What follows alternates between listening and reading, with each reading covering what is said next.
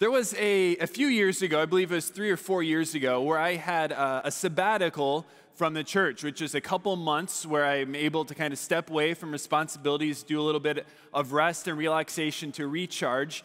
And one of the things that I decided to kind of help keep myself busy and be useful at the same time around my wife and I the summer before had just purchased a home and so I took on the task of renovating a half bathroom that's on our upstairs level. All right. I think the bathroom was built in the 70s, and I wasn't sure which was worse the wallpaper, the yellow tile, or the matching yellow toilet to the yellow tile. But either way, it was like, okay, this is now 50 years old. It's time to freshen this up a little bit. Now, I have very little handyman skills, but I had two things I had time and I had YouTube. And time and YouTube and a man can be a dangerous combination because you can find a way to do almost anything on there. And so I took it to myself to, to go ahead and to start doing it. And so I was, you know, taking wallpaper off is pretty easy, taking some things out. Um, you know, it was just a half bath, so I didn't have to do shower or anything like that. And then I got to the point where I, I think I was trying to take out the vanity that was there, and I was trying to disconnect the water hoses and, and the, the drain that was underneath. And I was using what I had at my house, which is just a simple wrench, and it was kind of down and it was like underneath, and it was a hard angle. And no matter how hard I tried, I couldn't get it to budge. I could not, and of course, being a man, I'm like, I'm not going to Home Depot. I'm sitting here for as long as this. After like a half hour, I was like, this isn't getting any better, right? So I had to do what I hate to do, right? When you're in the middle of a project, you're like, oh, got to go leave, go to the store, get something else. But I ran to the store, talked to the guy, and he's like, oh, you need a pair of channel lock pliers. Yeah. Yeah, got the, got the good thing, the good stuff, right? Pay $10, $15 for a tool, go home, clamp it on there. I'm like, I hardly even had to put any pressure right off. I'm like, wow, it's amazing. See, it's amazing what the right tool will do for the right thing. What the right tool will do, and you can try all you want. wanted. I put all the effort that I had, but I had the wrong tool. And it didn't matter how hard I tried, it wasn't the effort that mattered, it was the fact that I was using the wrong tool for the job. Well, we talked about last week as we started this new series called The Armor of God that we are in a spiritual battle. A spiritual battle. If you have your Bibles, go ahead and open them up to the book of Ephesians, the book of Ephesians, chapter 6. If you're using one of the Bibles that's in the, the pew in front of you, one of the blue Bibles that's on page 979. It's near the back of your Bible, Ephesians chapter 6. And last week we, we jumped into this text and, and it was it said how we don't wrestle just against flesh and blood, the things that we see, but, but against principalities and powers. And we talked about how whether we realize it or not, whether we think about it or not, each and every one of us is engaged in a spiritual battle. In a spiritual battle. And we were told, though, that last week that we are armed by God. God gives us his armor with the armor of God that we can stand firm. So if you're a follower of Jesus, you don't need to shrink back in fear to this spiritual battle that's going on. But the command for us, which was given four times in this passage, three last week, and it's the first word of our passage tonight, is to stand firm.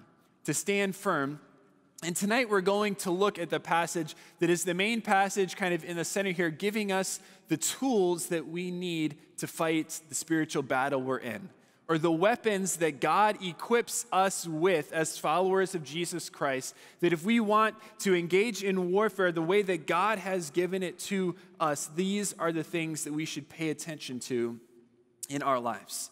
And so Ephesians chapter 6, verse 14 says this Stand, therefore having fastened on the belt of truth, and having put on the breastplate of righteousness, and as shoes for your feet, having put on the readiness given by the gospel of peace.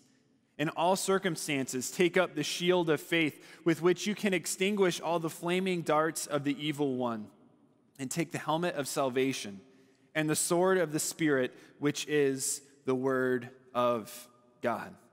Now, Paul gives us here six weapons that we have for spiritual warfare. And our outline tonight will be fairly simple as we walk through and think about the significance of each of these weapons.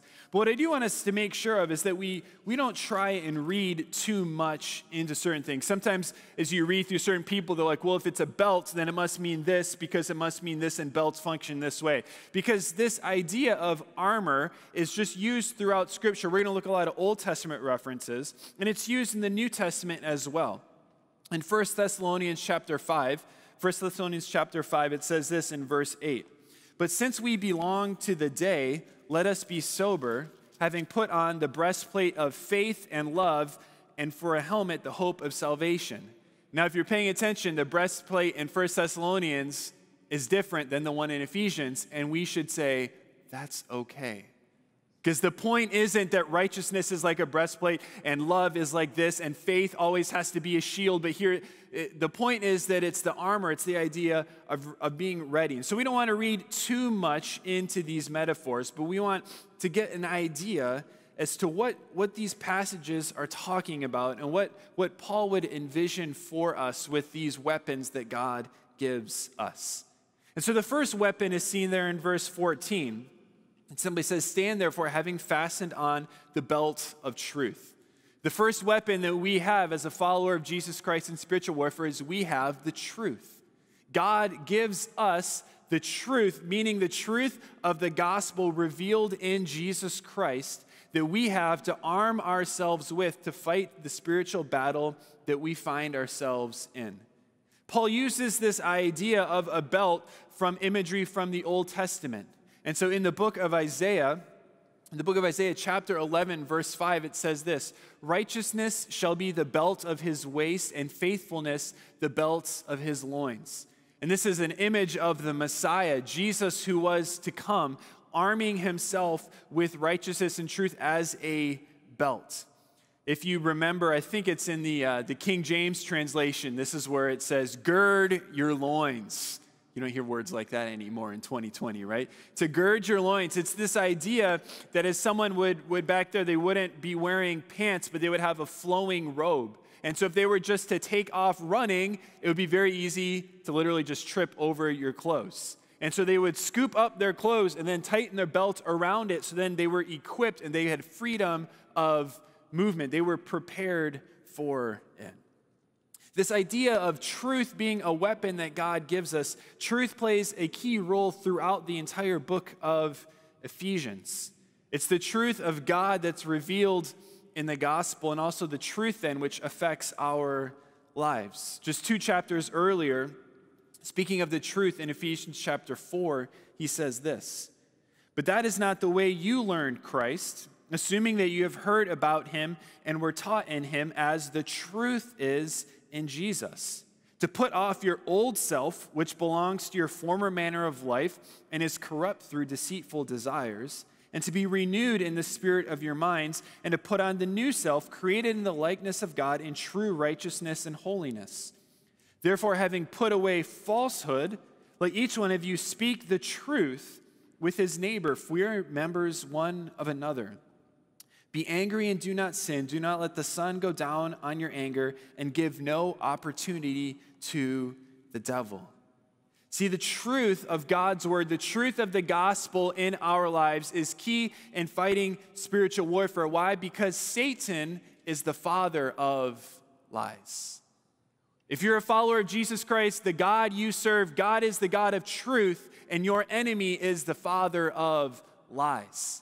And we need the truth of the gospel, the truth of God's word to combat the lies that Satan would attack us with. If you were here last week, we talked about how often spiritual warfare works in our lives is that when we've been hurt, when we've been wounded, that our hearts are fertile territory, either for good or for bad. And in our wounding, what often the next step is, is that lies will come into our minds. Lies will come into our hearts. And it's important, especially when we're in pain, when we start to think about ourselves, when we start to think about God, when we start to think about the people around us. Are we believing what God says to be true, or are we believing what Satan is claiming to be true, but is actually a lie? See, when we're in spiritual warfare, we need to focus on what is true. We need to focus on what is true. And oftentimes, when we are under attack, we focus so much on our feelings and emotions and not on what we know to be true of God's word.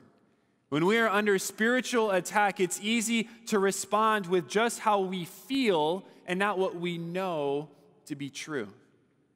If I'm honest, I think there's been times in my life, especially difficult times, where I didn't feel like God was with me.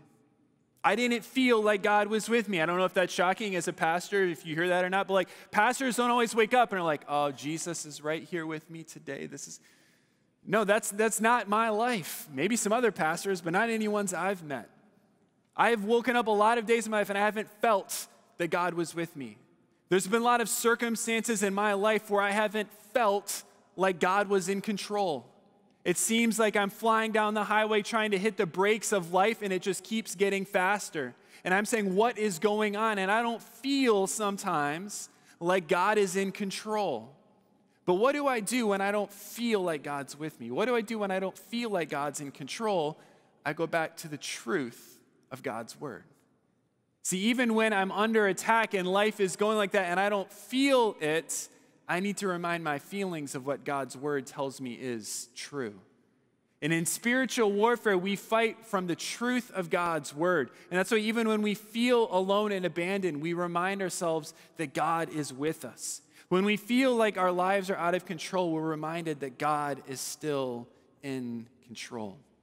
And so we focus not just on feelings, but on the truth of the gospel, the truth of God's word. The second weapon that God gives us is there also in verse 14. It says his second part is having put on the breastplate of righteousness. Put on the breastplate of righteousness. The second weapon is simply that it's righteousness. The second weapon you have is righteousness. Again, Paul is here referencing back to the book of Isaiah in Isaiah chapter 59. Isaiah chapter 59, verse 17, which says this. Can we have it up on the screen, please? There we go. It says this He put on righteousness as a breastplate and a helmet of salvation on his head. He put on garments of vengeance for clothing and wrapped himself in zeal as a cloak. Another passage looking forward to the Messiah, to which Paul references here, again, the breastplate of righteousness. The thing we need to think about is if we are equipped with righteousness. Whose righteousness is it that we are using? Is it our own? Is it our own good deeds? Is that what we have to rely on in our spiritual battle? The answer is no. The breastplate of righteousness that we put on is the righteousness of Jesus Christ himself. It says in, in 2 Corinthians chapter 5 that he who knew no sin became sin for us that in him we might become the righteousness of God.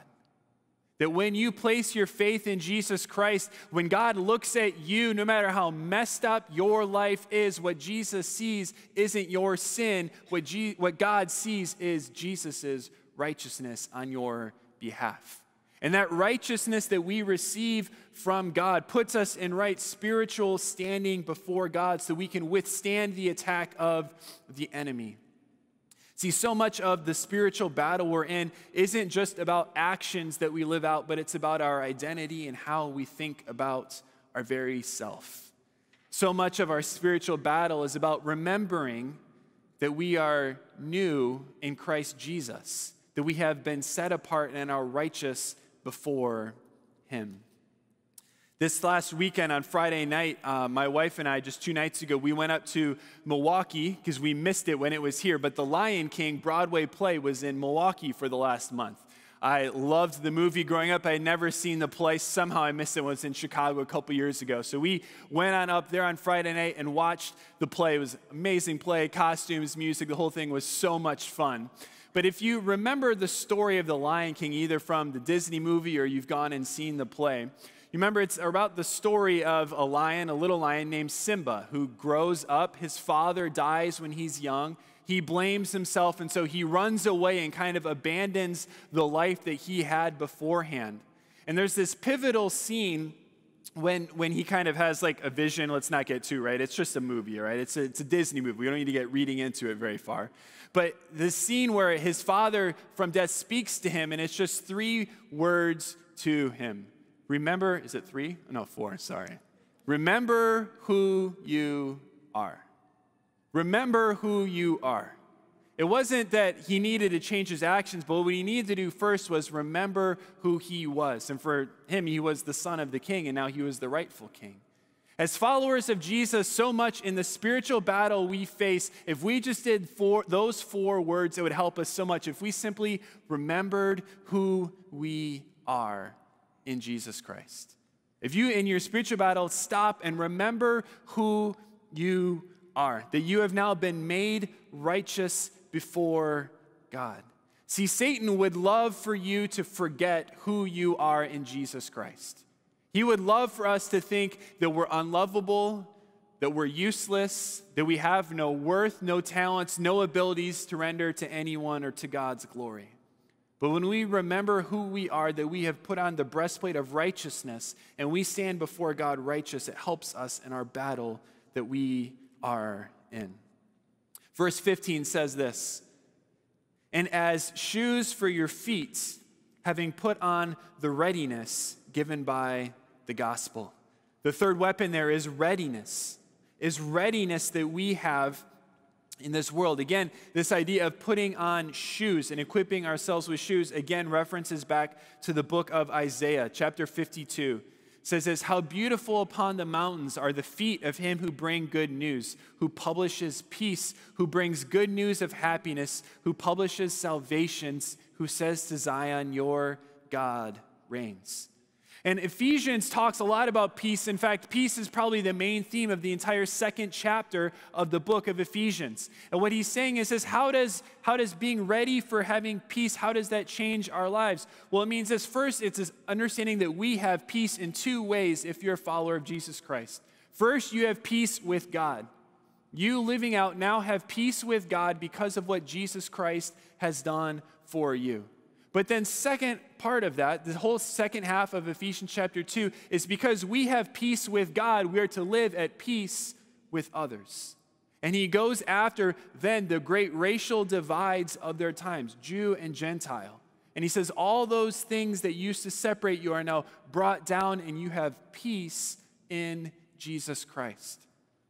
When we think about what it looks like to be ready to be people of peace, I want us to be thinking of this that we should be quick to live and practice to others the peace that we experience to God. That as followers of Jesus Christ, we should always be prepared to make peace with the people around us. Because God's word tells us that one of the best representations of the gospel in our world is the unity of the church. And so, what is Satan after to divide? He's after to divide the church. He would love for the church to not be united, to not be seeking peace, but rather to be pulled apart, that we wouldn't be ready to seek peace with each other. But as followers of Jesus Christ, in the battle that we are in, we need to decide beforehand that nothing that comes could break our peace that we experience with the people around us. We're going to talk about this, I think, a lot more in the next six to eight months. But I don't know if you realize it, but Tuesday of this week is Super Tuesday.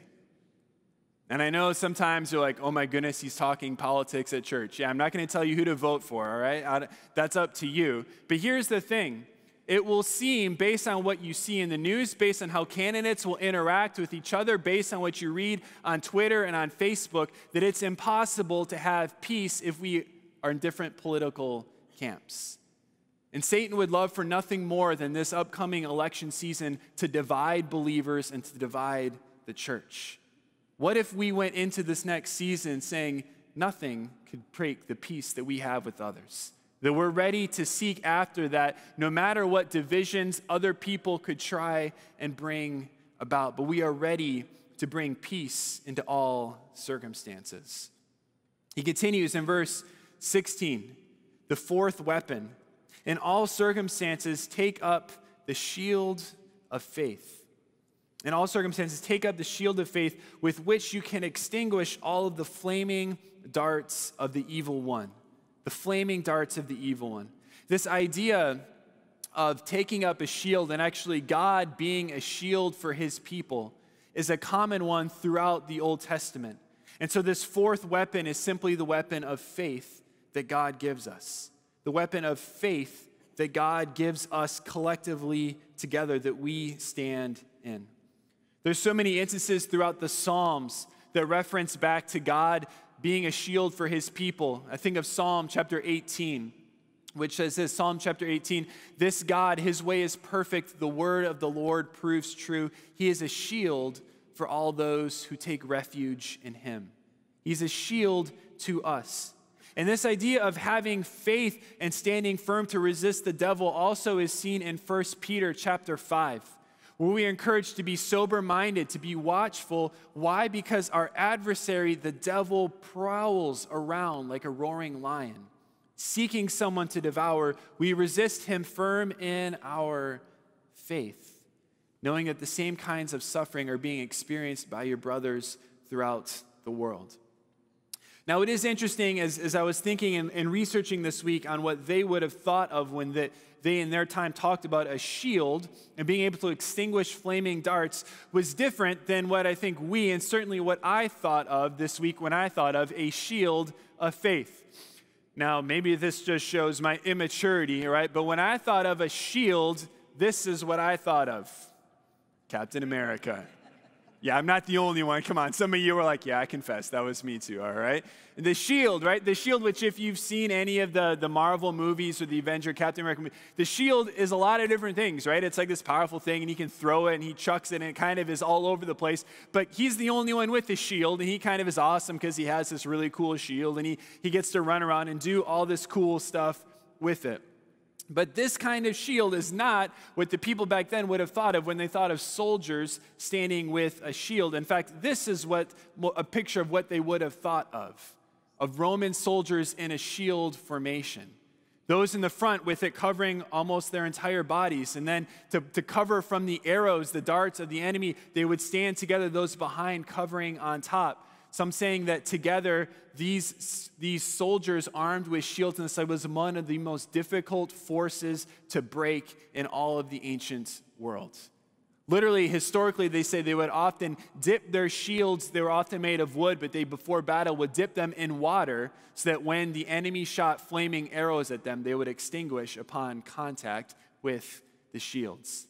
Now, the shield, when they would have heard about a shield, they certainly wouldn't have thought of Captain America running around throwing things at people, but they would have thought not just of one person standing with the shields, but they would have thought of multiple soldiers standing side by side, shoulder to shoulder, and together they are strong because together they each hold up the shield of faith for not just themselves, but for the people next to them. See, one person with this shield is not too intimidating. Two, a little bit more. Three, yes, but a group of them together, that's what this image conveys. A reminder, we looked at this last week. If you remember, that he's giving these commands and these illustrations not in to a singular person, but plural. They're all to be practiced together. And this idea of taking up the shield of faith, not just something you fight on your own, but the shield of faith is a reminder that we fight and we stand in the spiritual battle together. We stand here and we walk alongside one another. And if you try and fight a spiritual battle on your own, you're fighting a losing battle. If you're trying to fight this spiritual battle on your own, you are fighting a losing battle. See, so much of, I think, the reason we, we miss out on this is just even how we talk so much about church in our world. See, if you were to go to work tomorrow and your friends asked you, hey, what did you do last night? You'd be like, yeah, well, I, I went to church. I went to church. That's just kind of how we talk. I went to church and then I left and then I did this. And church, so often in how we talk about it, and then it becomes in how we think about it, is like an event we go to. I went to a concert, I went to dinner, and I went to church. Well, you can go to a concert, you go to a dinner, but you belong to a church. You don't belong to a concert or belong to a restaurant, but you belong to the church. See, the church is not just an event that happens on Sunday. The church is the body of Christ, the group of believers banded together, walking together, arm in arm, side by side, holding up together the shield of faith in this world we live in. And if you think of church just as something to come to, which is good, part of being a part of a church is showing up. But, it, but church is more than just showing up and you're like, I'm not going to come until like seven minutes after because TK will like do that thing where I have to say hi to people. I don't want to do that. He does that all the time. So I'm going to come in like seven minutes after and then right after the last song, I'm going to leave so that way I can come in and out without talking to anyone. Some of you think that way, and I know that because that's how often how I think when I'm visiting churches in other places. That I don't want people to talk to me. I don't, I don't, I just want to get in and out. I just want to go to it. But the church is not just a thing to go to, it's the people to be a part of. And so don't just go to church, but be a part of the church. Dive into friendships and relationships. Join small groups. Stay afterwards. Talk to people. Come pray with someone. This is not the place that we want you just to come for an hour and leave, but it's the family, the community that we want you to be a part of. See, in spiritual attacks on our lives, Satan tries to isolate us. If Satan isolates us, we are not near as strong as when we stand side by side together.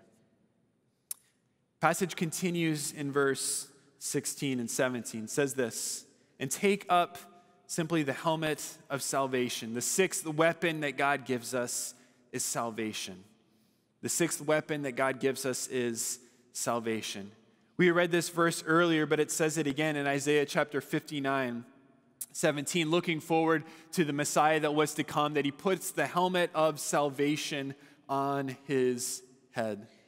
And what Paul means to do in this passage is to emphasize again the power and the authority that we already have in Jesus Christ the power and authority we have in Jesus. That it says in Ephesians chapter 2 that Jesus, in, in, chapter 1, that Jesus was exalted far above all powers and principalities. And then in Ephesians chapter 2, that we are now seated in the heavenly places with Jesus. Because of the salvation that we have experienced, we're encouraged to look at the source of our salvation, who is Jesus Christ Himself. See, in spiritual attack, it's often that we would even doubt our very own salvation. In spiritual attack, Satan would love it for us to wonder if we even are a follower of Jesus Christ. Which is why the helmet of salvation is so powerful when we understand what it means to be a follower of Jesus, what it means to have salvation. When you go back just a few chapters before in Ephesians chapter 2, it says, Not by works of righteousness which we have done, but according to his mercy, he saved us. Not by works, but by grace you have been saved so that no one can boast. See, we can rest on our salvation as a weapon in warfare because it's not something we did to earn our salvation, but it's something we have that Jesus has given to us. And don't ever, if you're a follower of Jesus Christ, if you've placed your faith and trust in Jesus, you can use salvation as a weapon because no matter what Satan can do to attack you, no matter what he can do to you, he cannot take your salvation from you. You can't lose your own salvation because you didn't earn it to begin with. It's a gift of God, it's grace to you. All that's required for your heart is belief. And so in spiritual attack, we can stand firm because we're relying not on our own efforts, but we're looking back to the work of Jesus Christ, and that salvation doesn't come from our works, but from what Jesus has done for us. The last weapon he lists here in verse 17 says this, and the sword of the Spirit, which is the Word of God.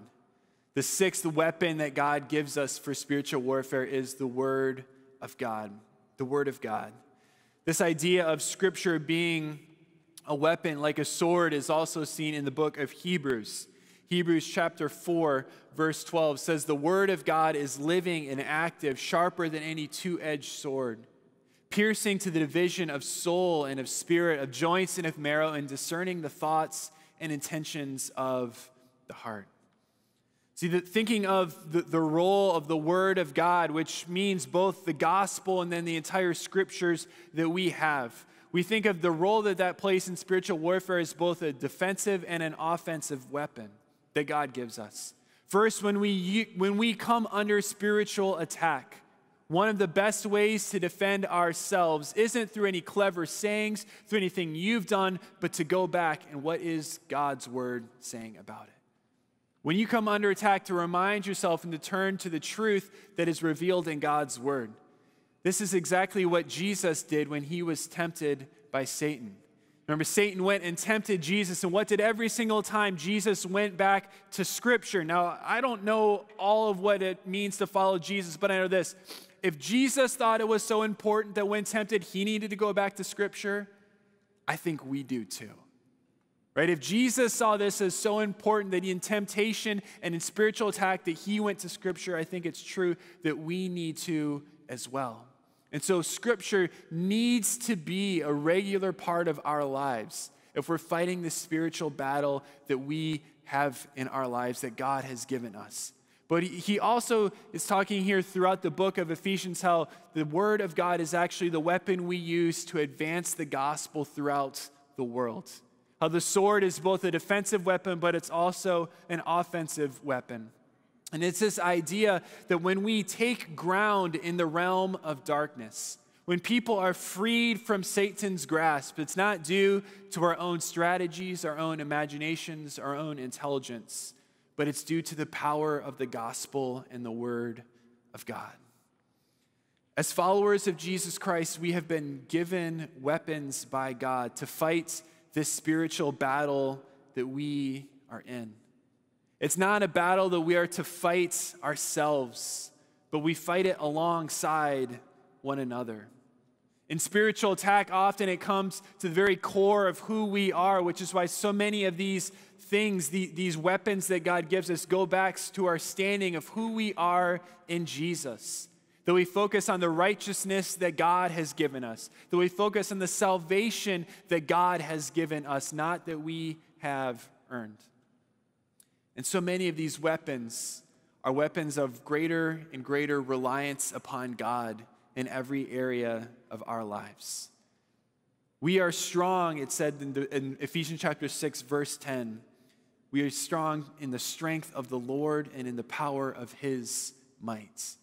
The weapons that God has given us aren't just weapons that we can use, but they're weapons that are given by Him and we can use in His power. And so when we feel under attack in the world from various things, whether that's through circumstances, whether it's through people, whether you're just feeling attacked in your own spiritual life, use the weapons that God has given us. Remind yourself of the truth of God's word that you stand righteous before him, being ready to make peace with everyone else, standing side by side with one another in faith, knowing that your salvation comes from Jesus Christ alone. And in every opportunity that we have to look back and to rely on the Word of God for power and for sustenance in this life.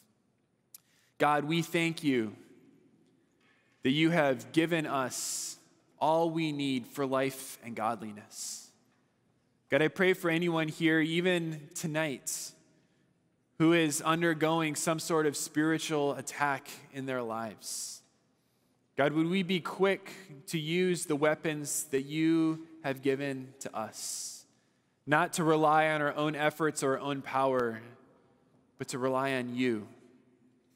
That in the weak moments of our lives, that you would be made strong